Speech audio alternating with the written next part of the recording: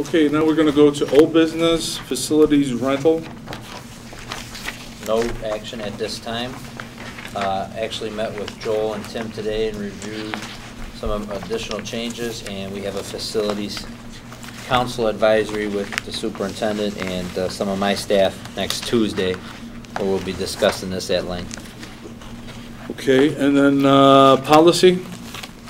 So we have three bring, that are going forward tonight. Um, The first one that we'll draw your attention to is the, uh, the policy six colon three ten. And this is dealing with the alternative credits. And as we discussed before, um, I wanted to, to bring this forward to you as we continue to look at putting class minimums and maximums on, uh, policies, or on our class sizes, we have to be prepared for some students to be able to take courses that maybe aren't offered. Uh, so that's what, uh, six colon three ten is, and the changes are tracked accordingly. And that should be part of, I think, the walk-in, because we had to make one or two adjustments, is that correct, Mary Ann? It's towards the back of the walk-in, just because there was some lettering that was off. There was one sentence that was stricken by accident, right, Kevin? That, I thought, was on eight ninety, wasn't it? Oh, I'm sorry, you're right. Um, When we get to six colon three ten, the discussion with that, um, just want to find it here.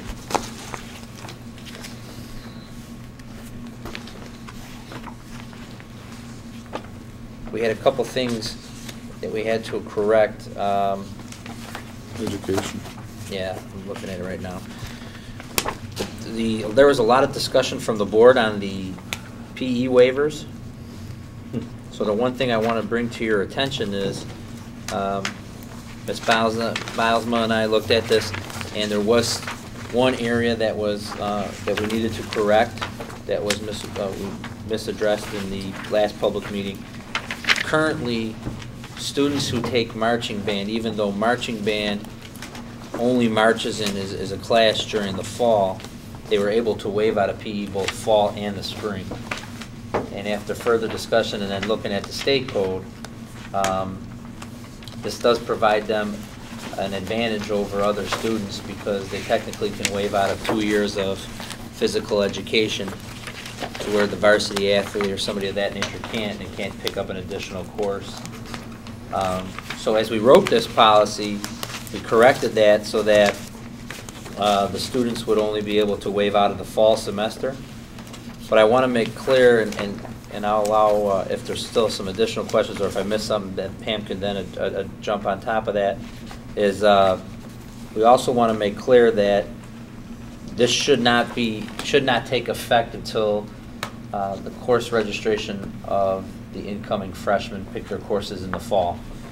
Because our current freshmen that are going to be sophomores next year are already going to be into the second year of their four-year plan, and anybody besides that that are going to be juniors or seniors are already into their four-year plan and have been counting on this past practice. So we have to take that into consideration a little bit, or at least encourage the board to have discussion on that tonight. Oh, I- Um, that's not the way I understood it. I thought we were going to, thought our discussion was we would suspend the rule that the band only gets a waiver in the first semester for next year only, not for four years for freshmen. No, no, no, no, no.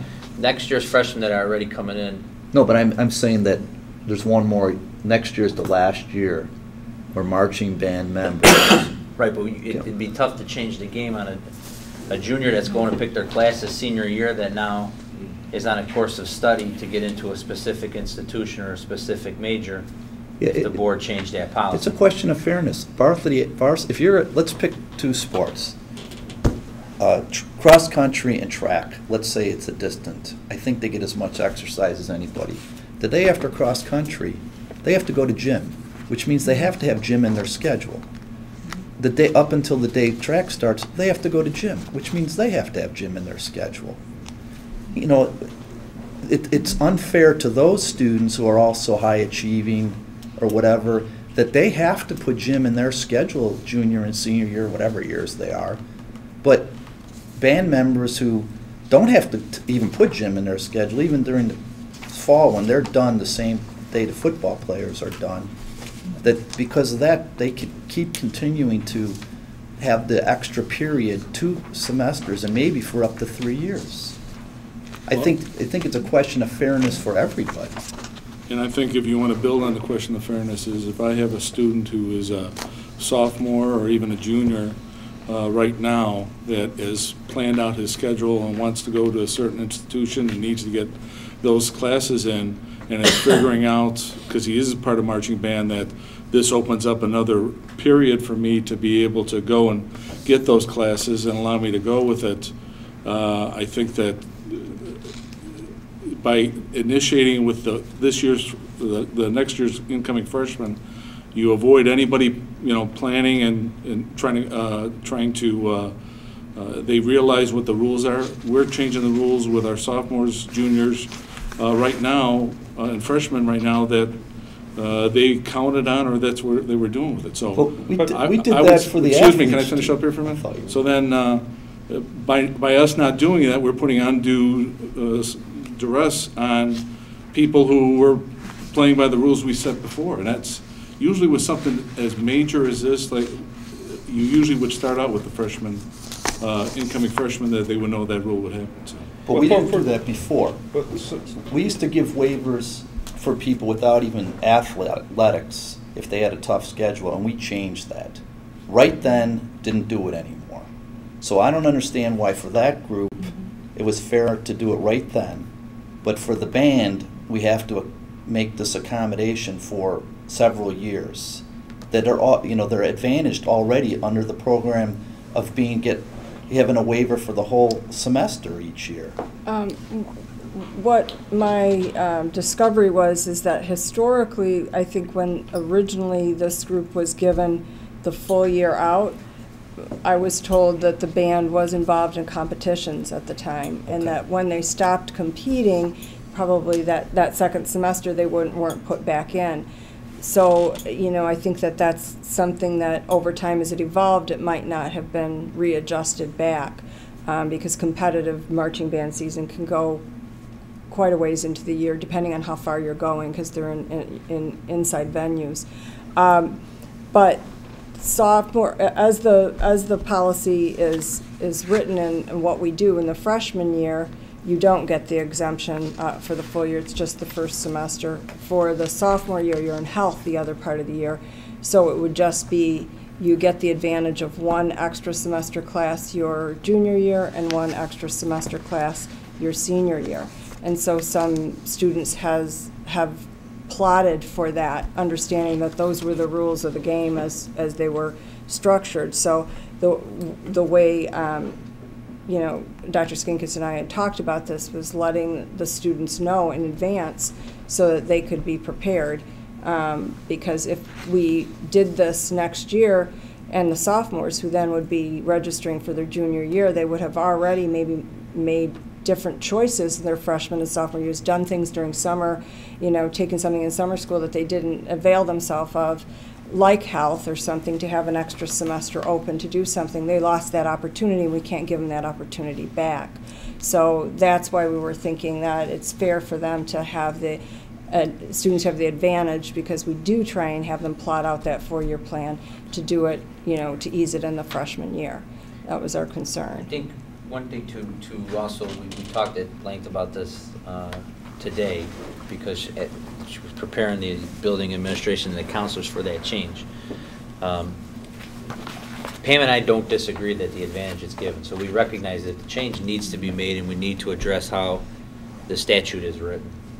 Um, Well, I just would urge you in your discussions tonight, before we vote, out, to think about that a little bit, because there are, it will impact, and it will have a, a ripple impact of if a kid now realizes that they can only get that waiver there, and they wanted to take four years of a foreign language and four years of a math, um, that they might now drop out of band.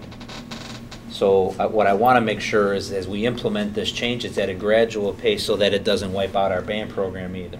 So I just want you to take that into consideration, that, as we talk through that a little bit more today, uh, that was brought to my attention, that if, if, if it's implemented uh, you know, we would allow the kids that signed up for their PE waivers, obviously, this year, and not implement this till course registration in the fall.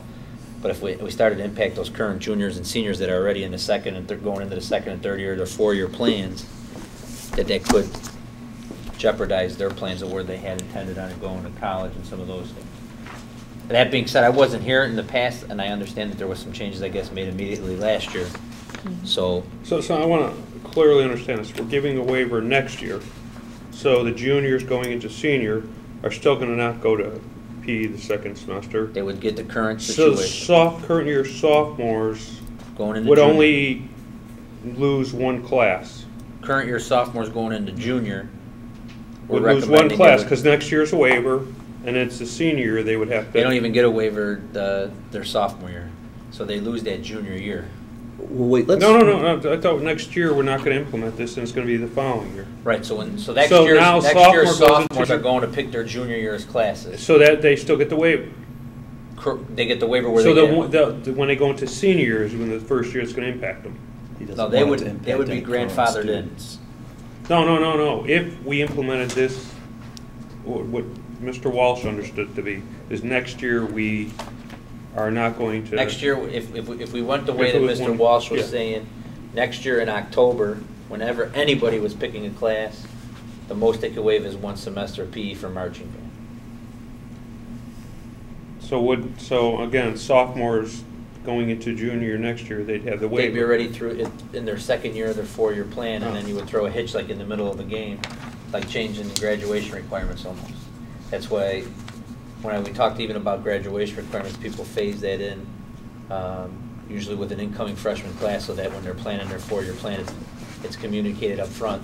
Don't plan on having to, you know, picking up this extra credit and some of the, that's what originally brought this to our attention, is that the way that they've been implementing it here for several years was giving an advantage to students that were in the band.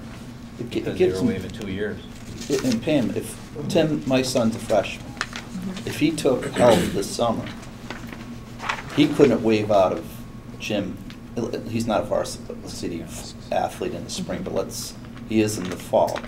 But in the fall, he has to go into, sw- that right after swimming in the spring, even if he was a varsity athlete, he has to take gym. Right. So the other thing that's a little bit of a disadvantage to other people too is the, the kids in the band are being allowed to do that and take higher level courses that also increased their grade point average against the kids who are varsity athletes Mhm. who can't do that and have to take gym that doesn't, I guess at some level, maybe when you're a senior, there's You're honors correct. or something, You- right? you are You're absolutely correct. You are correct, Mhm. yes. That has been a, an, an issue, a fairness issue that people have, some people want addressed. Yeah. Any other Are we, comments? are we discussing this now to Yeah. vote on it? Well, this would be a we- we second read, Yeah.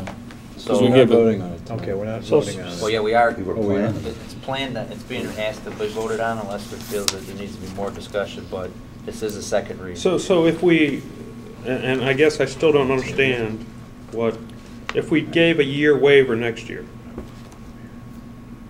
and then implemented it the following year, We have, so we have students. so that being- sophomores would have only one class impact because they would still be able to implement the waiver next year. It'd be their senior year where they would not be able to take advantages of the spring semester. No, that would be impacting two years' worth of it.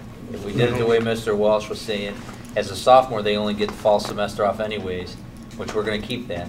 But when they pick their courses in October, we would wanna say your junior and senior year, you no longer have that advantage. So you'd be throwing a hiccup. This would be a freshman, year. wouldn't it?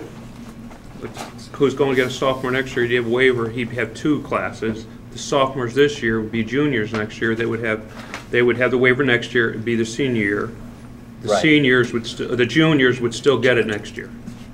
So it'd be the freshmen getting two The freshmen classes coming in right now, right. No, the freshmen this year would The get freshmen- two-year The impact. freshmen right now today that are sitting in freshman algebra They're right gonna be now, they're sophomores be next year. sophomores next year. So they'll already be in their second year of their four-year And if we plan. waiver it next year, It's already been wavered.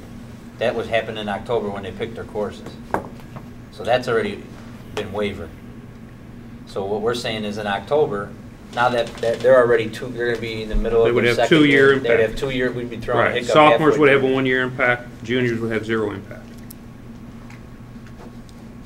I think we're saying the same thing, but I think it's sophomores would have a two-year impact. Because if you implemented it in October, uh, And with next year giving them, not enforcing it. when you say sophomore, are you saying as of next fall they're a sophomore? No, I'm saying He's sophomores this year are gonna be juniors next year. Right, so they get the year, so technically they would, it would, So they would have one year of a full one year year. impact, one course impact. The freshmen would have two. The freshman this year, who be sophomore next year, would have two. Right.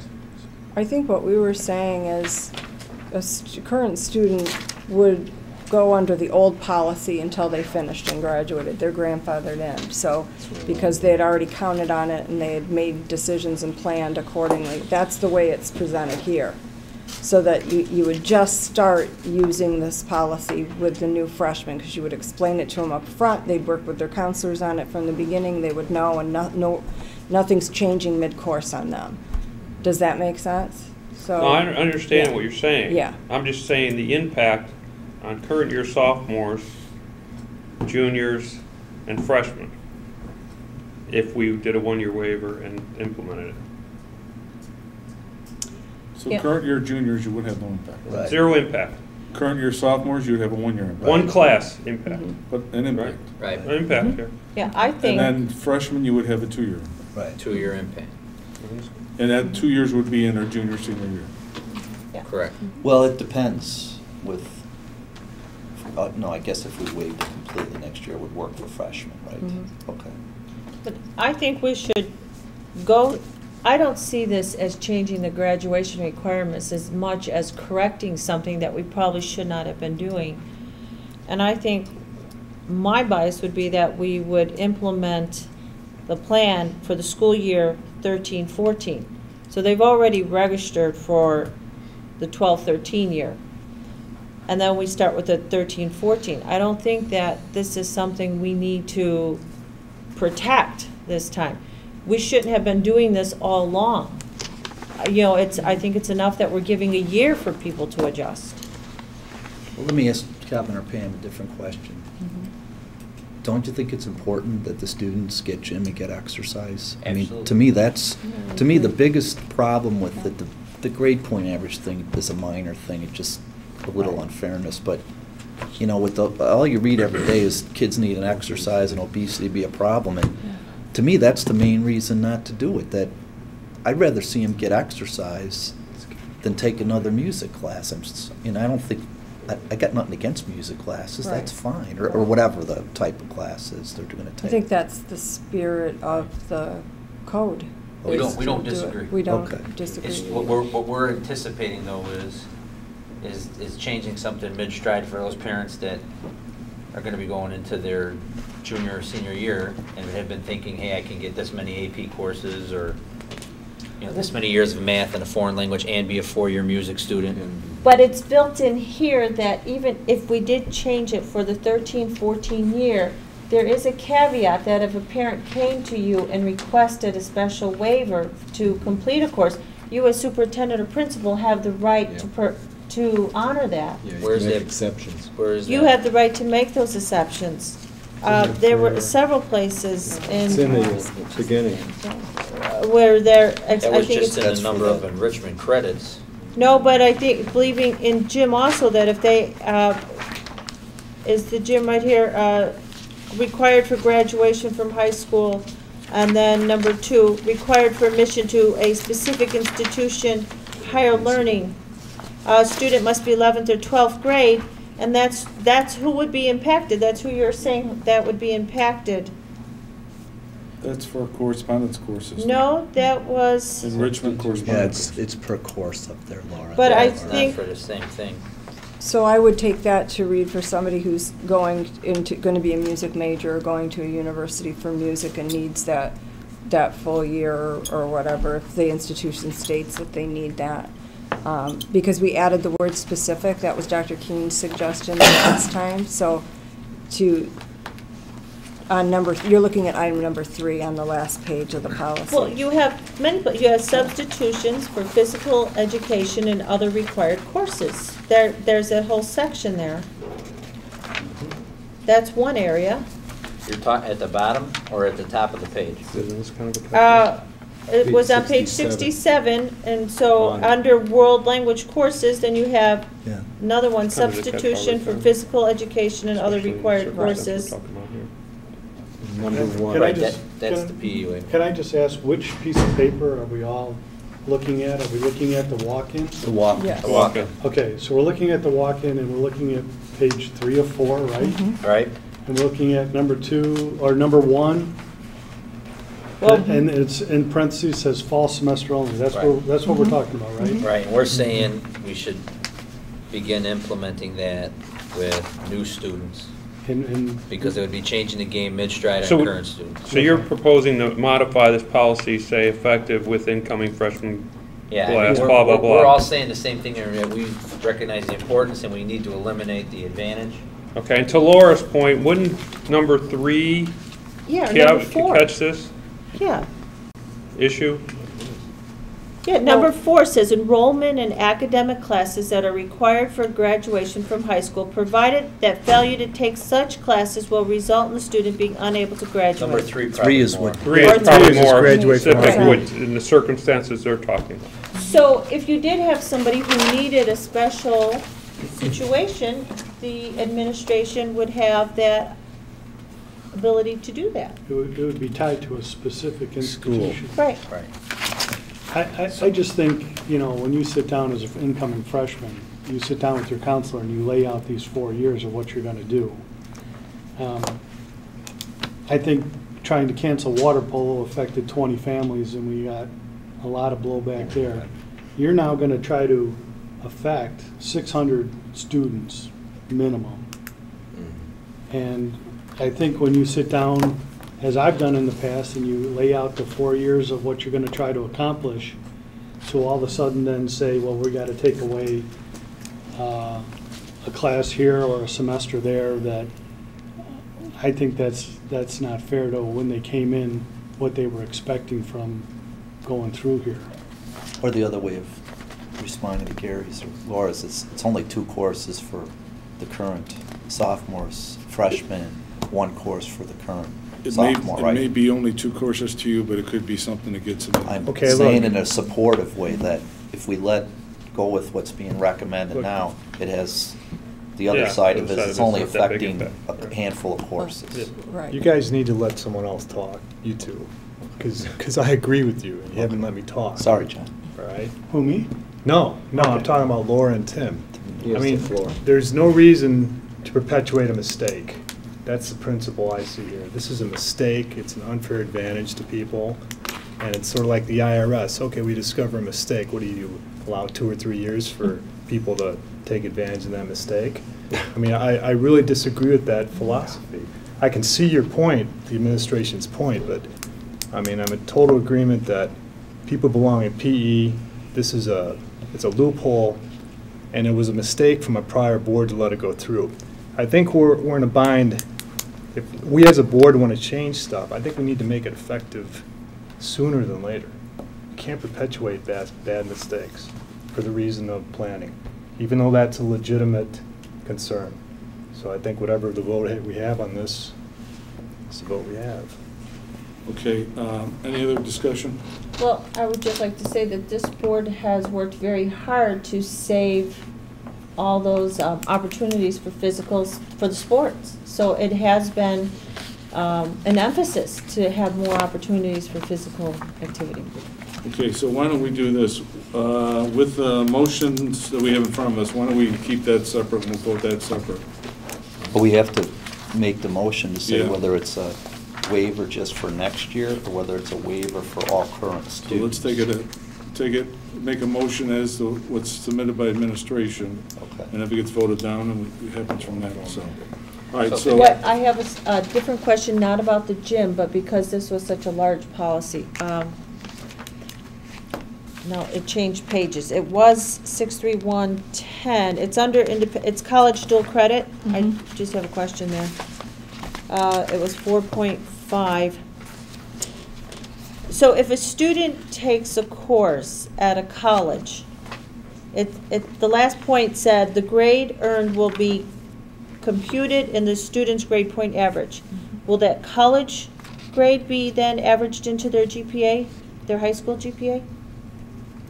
A dual credit means they get one yeah. grade, and that grade is then for their transcript for college as well as their high school. So yes, if they got a B, that would count as a B on their high school GPA. Okay, mm-hmm. all right.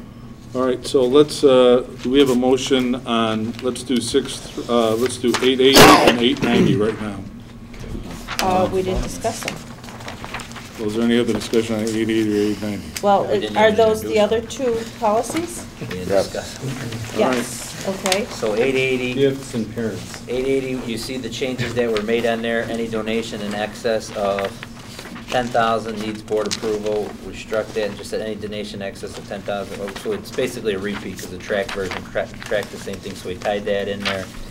Um, And then the board's legal obligations to comply with Title IX by providing equal athletic opportunity for members of both genders will supersede any organization or club's recommendation for the gift or donation. So basically, when you get to eight ninety, what we wanted to do was refer everybody, it's cross-referenced with eight eighty. So that would be the one policy you have to follow, whether we receive something from a foundation, a parents club, patrons club, booster club. um, It would talk that they need to align with the rules and the policies of eight eighty. The reason we use ten thousand dollars is, because currently in four sixty, our policy is any purchase, uh, unique purchase over ten thousand dollars uh, needs board approval, just to more or less keep the board in, in the loop of that, and we figured that'd be the same thing with, uh, the, the, any kind of donation we would receive. This way, just from only being an outsider and then being here for the last nine months, seeing how there was questions regarding donations for scoreboards and things in the past, this way, we would be able to have in our minutes that we received a large donation from a specific organization to be used towards a specific project. It would be made clear to them that we have the discretion on how we're gonna apply it in the process of that project or, or or that event. And then uh, we will also make sure that it's accounted for by our business office and it's tagged and stuff for the capital audit and those types of things. Well, Assuming that we accepted um, a generous gift from an alum for, uh, say, a football program, it would violate the Title IX uh, as a, an extraordinary rule that would counter a targeted gift, correct? You know, I, I, what I think, uh, probably a better example of that would be, I've been in previous district where the Fathers Club built a press box for the baseball field, and there was no Fathers Club for the softball team, and uh, the district was cited for a Title IX infraction, and they had to pay out of their fund balance a, a similar, if not better, press box for the softball field so that it was in line. So that's where I think uh, by 880, it, it makes clear, so, I- you know, I don't want to get into the pay, but we would just say like, if, if someone approached the boosters and they were going to give something for uniforms for the boys soccer club, we got to make sure that we're getting new Yeah. uniforms, or there's a plan in place to get new uniforms for the girls soccer club. right, Soccer team, I should discretionary say. thing. Right. Yeah, I think they understand. All right, any questions on eight eighty? Hmm. I have one. Okay, On the last sentence, it said the superintendent shall develop procedures for review and approval of donations that involve incorporating messages into or placing messages upon the school property. Just wondering, would we not also want to, you know, include procedure for review and approval of donations that don't necessarily have a message? I mean, wouldn't that procedures include whether they have a message or not? Well, I think that's, that says anything over, any kind of donation over ten thousand, we need to have the board approval, whether it's got a name on it or not. Yeah, I kind of read that, that like you would have some kind of procedure to bring it to the board if it's ten thousand dollars. Is this separate then, this last paragraph? This is, That's dealing with And a above- specific instance. If s- If a donee uh, wants to uh, incorporate a message into or place a message upon, say, say that the boosters and Mhm. qualified their gift for the sign and say, we'll only put it on there if you'll say donated by the boosters. Mhm, okay. Or, you know, whatever, Mike Or Welch Mr. makes a donation to the swimming pool and says he wants it to be called Welch fam, you know, swim pool, then he'd have to do it, but we don't have to, if Okay. they're donating for uniforms, we don't need to have a more specific procedure. Okay, all right. All right, any other question on eight eighty? Let's go to eight ninety. Any questions on eight ninety? I had some additions or addi- items to, to consider. Okay. Um, With the first correction, it says the organization or club has on file with the district a copy of their 501c3 status letter. I think we should also uh, include their application form 1023 with, with any letters. Because it could be that they uh, get a preliminary letter, and five years later, they get a letter that says they're recognized as a 501c3. So an application, Form 1023 in their letters, and then a copy of their bylaws, I agree with that, and then, um, if you look at the Form 990 that one of the um, visitors' comments talked about, that I also brought up the last time we we talked about this, you know, they the bylaw should clearly state their record retention policy. They should also have a conflict of interest policy.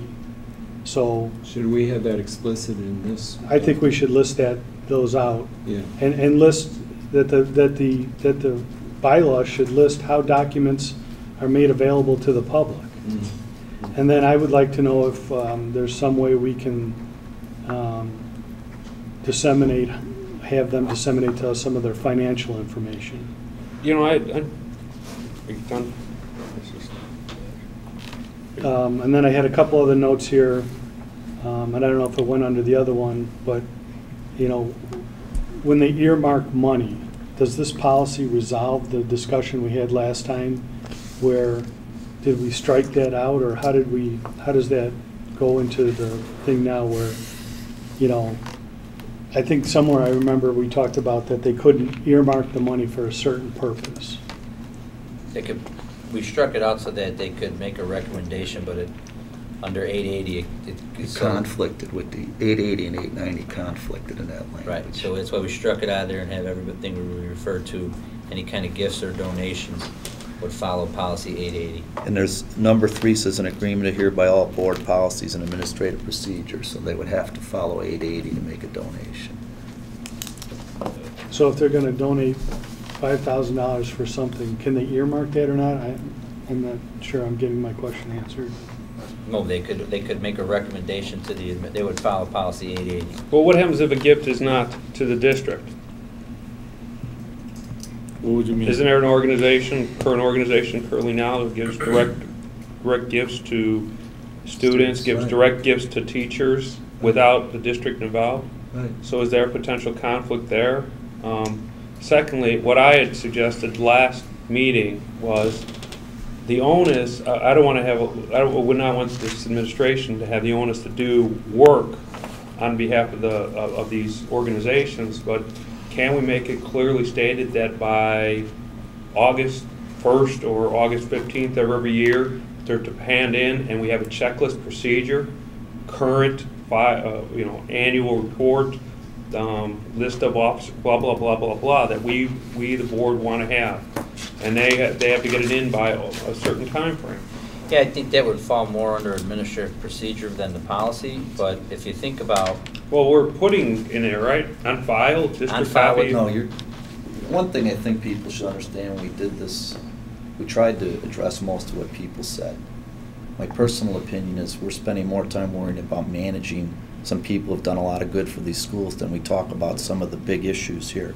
But we, we did three things. We included that they have to be a 501c3.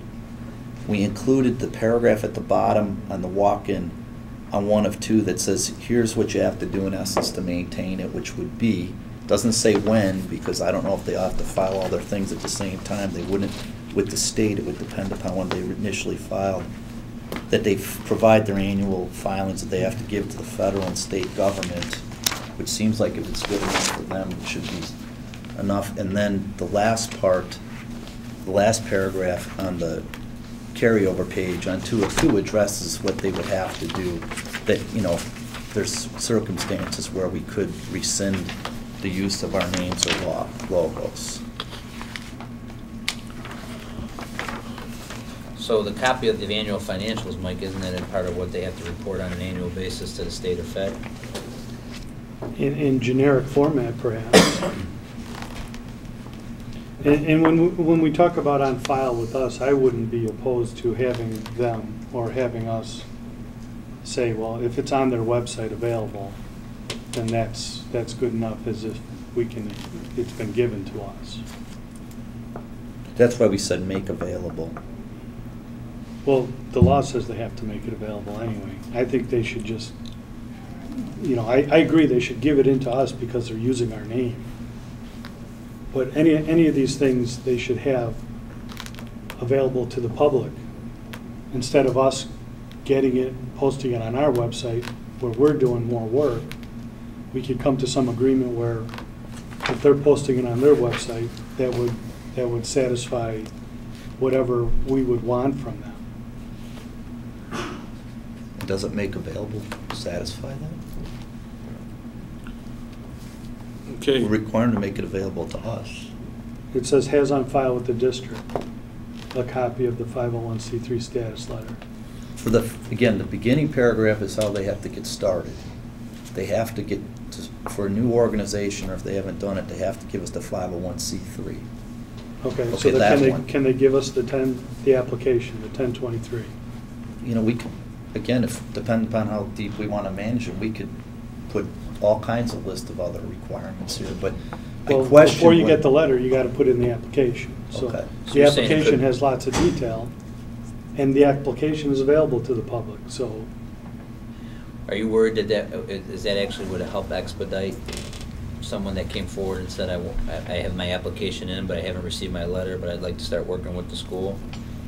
Or Is that, uh, Well, it, it, it expedites me asking for it if I wanted to see it, you know. If you're talking about, you know, being, disclosing what they're all about, that application has certain information on it to say what they're supposed to be doing or what they're, what they were formed under. And then the, the letter that comes shortly after that, and then the letter that comes years after that to say, you know, you're good to go in the future. That's kind of how they start up. And then as far as the policy, you know, the, the the filings ask them, what is your record retention policy? If you're a 501c3, yes, what's your record retention policy? So they should already have that, so they might as well have it in their bylaws. But I'm, you know, I know it's, should, are we, are we mandating what's in their bylaws? Well, on some of these things, we are. And, you know, I don't even think we have a copy of all three of these organizations' bylaws. Is that true? I have uh, two of the three. Okay. One being, uh, we received email that they're working in the process of updating them. Okay, well, we should be entitled to see that bylaw as it stands now. For a vote. So I had record retention, conflict of interest, and how documents are made available to the public. And then, I know we have in here uh, yearly financial filings, but are we interested in any more detail than that? Or is it something we leave to the public to ask them about?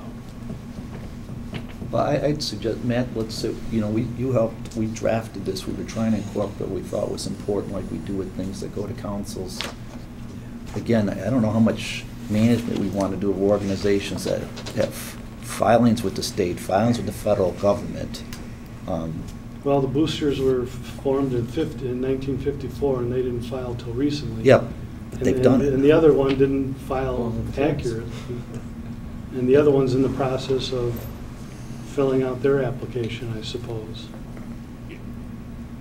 The, the, the one area I have a concern on, and maybe it's, since the policy committee just talked about this, is we have one organization who can give, that we're gonna allow the name on, but they have the right, they- they historically have given gifts directly to individuals. Is there, have you guys thought that through in your policy meeting? If there's any potential conflicts with our gift policy? We did not talk about that. My question is, maybe this is my ignorance, is that if they're an independent 501c3, they'll have to do the proper paperwork and reporting on that. are we, do we need to get into Managing. them. managing how they use or spend their money? I mean, You know, I think the whole key thing on this, on these outside groups are, one, they're using our name, Riverside Brookfield. And if you go out to the public and say, the Riverside Educational Foundation, is that part of RB or not? They're gonna say, John Q. Public gonna say, yeah, that's part of RB. And I think that when they put that name on there, it requires them definitely uh, to go above, or beyond a a 501c3 to make sure that there's transparency, there's no question at all what's, go- what, uh, of any, you know, with that transparency becomes credibility that is allowed to happen. If we need to detail more what we're asking for, and for a 501c3 that wants to be transparent and likes to be transparent, those should be easy to do, because all they're doing is turning documents over that they already had before. Or even like Mike said, they've gotta put it on their website, they would have to do that. My key thing right now is that we asked for bylaws for the three organizations that came here. Two we got right away, one is now in the process of updating. We need to be able to have all this information, because right now, it makes you wonder. And one of the major reasons I think we did this, one is to make sure that we are, with these outside organizations, parent organization, Booth Club, are making sure that they're in line and transparent and are following the law to the fullest. Well, I, You know what I mean? I I question whether any public board like ours has a duty to find out if anybody is following a federal law or a state law. That's what that government's for. And, you know, I work in a regulated industry. People put in regulations all the time, you know. This, you know, if they're meeting the requirements there, they've been doing this for years. Some people think they should do more or whatever. They do some good things. The fact is, if we pass this uh, policy the way it is, and they don't provide us the bylaws that meet the requirements, we would have to suspend their use of our name. That's what it says. So we can adopt it, have general rules like we do with almost every other policy here, and have s- superintendent procedures to address it, and we can move on. Or we can spend more time on how we should manage people who are doing good things for the school than we've done on some pretty serious topics here, and to what avail? And that's one board member's opinion, and other board members have come up and stated something different, so. Can I? I, I- I'm comfortable with, you know, this, this checklist and, and and wording there. Where I'm uncomfortable is what happens if, if tomorrow another 501c organization comes, wants to put an RV uh, associated with it, with the purpose of saying, I'm gonna give gifts to, not to the district, but to be- ben- uh, benefit uh, participants in the school, and, but not through the district you've allowed it for one, and, and that's all in my conflict. That's the only conflict I, and, and that's, that's my, you know, I don't, you know, I don't, Gives them a monopoly. can you, can you enlighten us, or maybe? well, I mean, we, how we would we it made a create point to come. conflict to the district? We made a point to talk about gifts to the district. Right, but if Okay. it's not a specific gift to the district, let's say we only could fund um, three teachers to attend a national conference, and an organization wanted to s- fund. the Or we can only fund uh, a couple athletic individuals, so, but there's another organization out there would be more than willing to fund a particular coach to go and do something. That's, you know, I, I'm just throwing these, you can throw hypotheticals all What over would the place. stop them? Yeah, I Use of the name?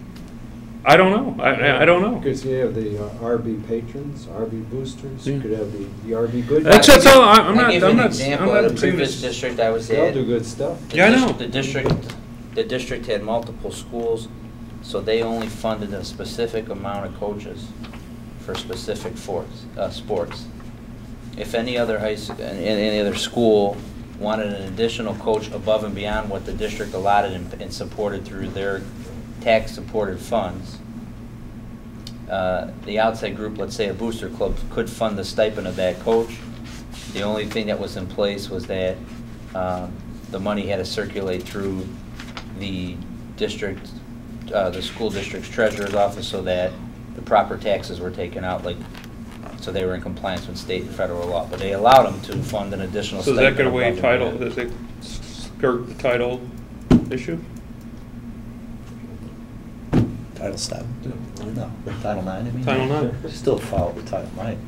Well, I mean, it doesn't necessarily have to, because you can fund that, and you didn't have to fund, But if a co, if we, if we were gonna I'm say we're just- gonna have one basketball court, and that, let's use, let's take Title IX out of it.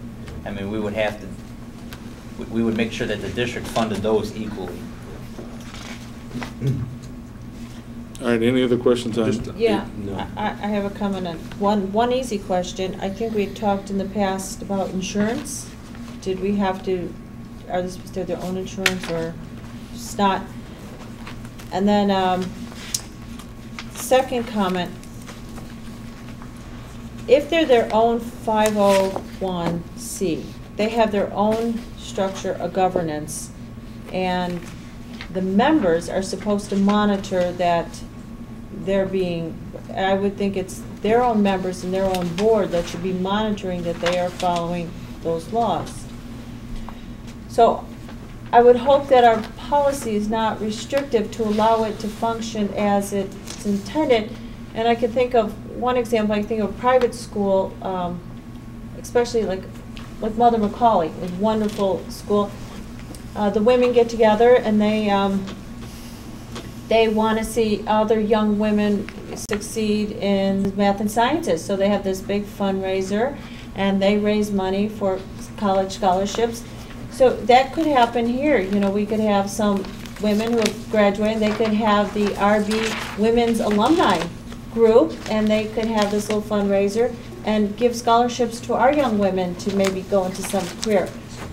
You know, I mean, that could happen, and if they're their own 501c3, they would have their own governance, their own structure. I mean, are we uh, making it too restrictive so those kind of things can't blossom and grow and happen?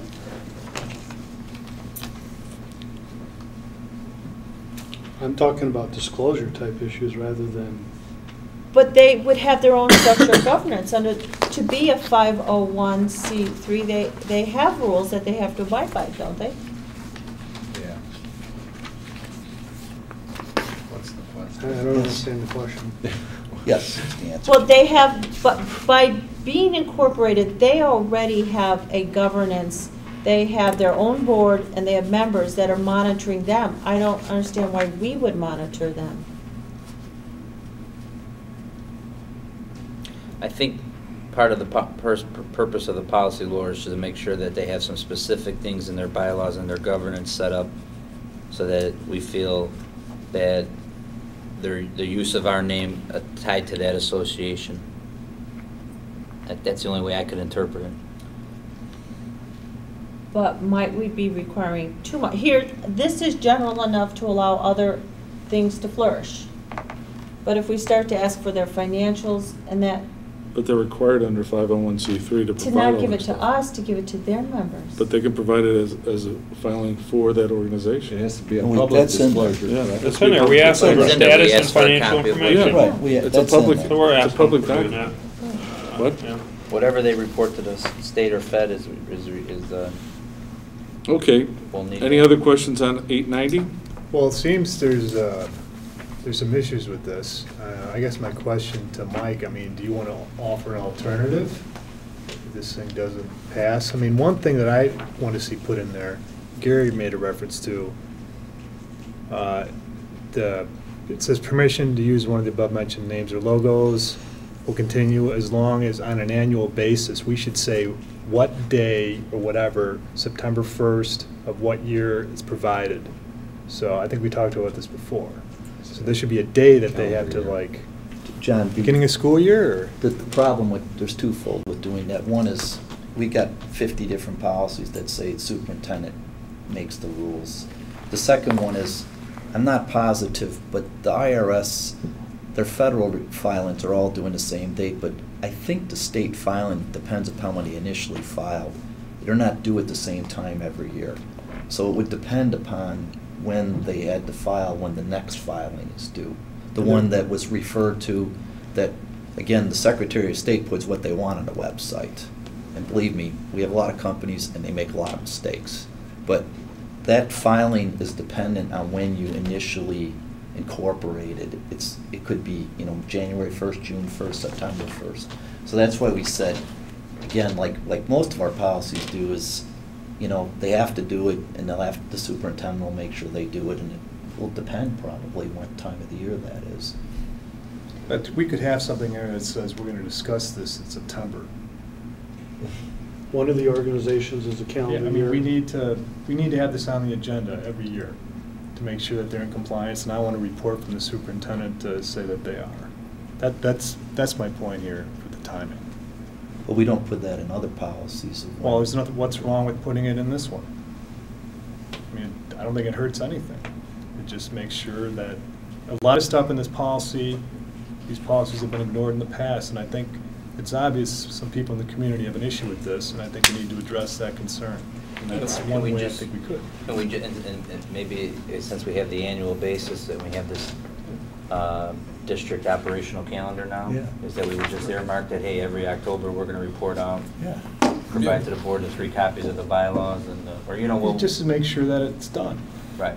Because four years from now, we may have a new board, and we may forget. One, one of the organizations, We love the board, that's right. Jen, one of the organizations is a calendar year. And one of the organizations ends June thirtieth, like we do, so putting a specific date on it isn't gonna, isn't gonna really be helpful. I know that the Illinois Association of School Boards sets as a model to review your policies, kind of like a clock. And they say as you start to develop, um, in the months, there's twelve months, just like a clock, you know, you're gonna go through, this is, you know, eight, you know, the different sections of your policy book on those different months. And they say, just get in that routine and you can be reviewing them. So that might be a way to and that would just be like a procedure for us to be able to review and make sure it's the same. Okay, so what's our, our pleasure on eight ninety? Say we make the motion that we originally had, let people vote on it. Okay, so we're gonna take each one of these separate then. So let's start with the easiest one, policy eight eighty. We have a motion on policy eight eighty. Resolved that the Board of Education Township High School District 2A, Cook County, Illinois hereby, excuse me, Illinois hereby adopts policy 880 gifts to the district as presented in the walk-in agenda. I- Was that one changed? That one wasn't changed, was it? No. No. Okay, it's presented in the May 8th, 2012 Board Agenda Packet. Do I have a second? Second. Second by Garry Gryczan. Any other for discussion? Mary Ann? Dr. Keen? Yes. Mr. Moon? Yes. Mr. Walsh? Yes. Mr. Welch? Yes. Mr. Gryczan? Yes. Ms. Hruska? Yes. Mr. Sinde? Yes. All right, let's go to policy six three one oh.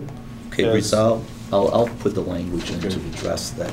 Resolve that the Board of Education Township High School District 208, Cook County, Illinois, here adopts, hereby adopts policy 6310, credit for alternative courses and programs and course substitution, and suspends the application of, with respect to uh, the band waiver for only the uh, fall period for all current RB students as presented in the amended um, walk-in resolution provided to the board at the May 8th, 2012 meeting. Do I have a second? I'll Second. second it. Seconded by uh, Laura. So what does that mean? So, What are we voting on? So the- the- what the- so this, this grants the waiver. For any Yes. current students, while, but s- the current students would be able to waive out of uh, gym for the whole year until they graduate. But the freshmen coming in twenty thirteen and fourteen would go underneath. Yes. And that, and that's what they're recommending? That's what you That's were what we're recommending, right, recommending. Kevin? Yeah. All right, any other discussion? Mary Ann? Oh, So, hold I just want to be clear, so that means, uh, we're not going to allow this whole year waiver. We Uh, have, we have that fresh- mean- freshmen walking through the door in August. When they became juniors, they would not be able to waive out of a year.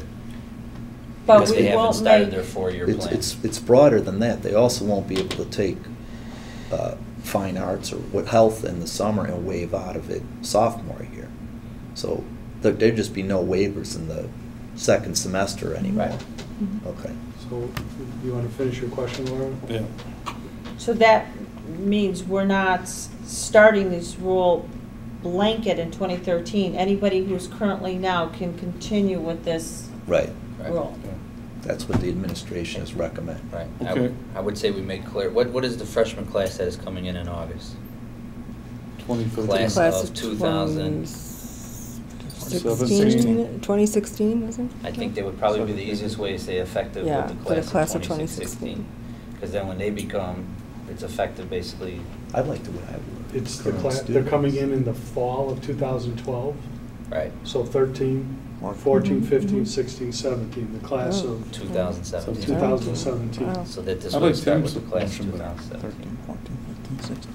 All right, we got a Because motion someone out would say, well, there? technically, they picked their classes out They of start grandfather. 12, They come in this 13, fall. 13, 14, 14. No, it's 15, 16. 15, They start in the fall of 2012, they'll complete their first year. 13, 13, 14, 14, yeah, 16, 16. 16. 16. Yeah. So it is 16. Yeah. Class of 16. 2000. It is 16. All right. You want to amend your I motion? said correct. What, instead of saying current, How many I would adults say can class sit of and count on their 2016. fingers? the difference would be students who transfer would be eligible for the waiver thing. It's too, too specific, Tim. Okay, class of 20, well, I'm telling you the difference in what you said and I said. All Okay. right, for the class, beginning with the class of 2016. And Laura, do you accept that Yes. change? All right, Marianne? Mr. Moon? Yes. Mr. Walsh? Yes, Mr. Welch? Yes. Mr. Gryczan? Yes. Ms. Hruska? Yes. Dr. Keen? No. Mr. Sinde? Yes, okay. Now resolved that the Board of Education Township High School District 208, Cook County, Illinois hereby adopts uh, Policy 890, Parent Organization and Boosters Clubs. Was that one amended in today's package? Yes. Yes. As amended and presented to the board at the May 8th, 2012 meeting. Second. Second by Dan Moon. Any other discussion? Without the application, all letters, record retention, conflict of interest, how documents are made available to the public. You want to amend vote that?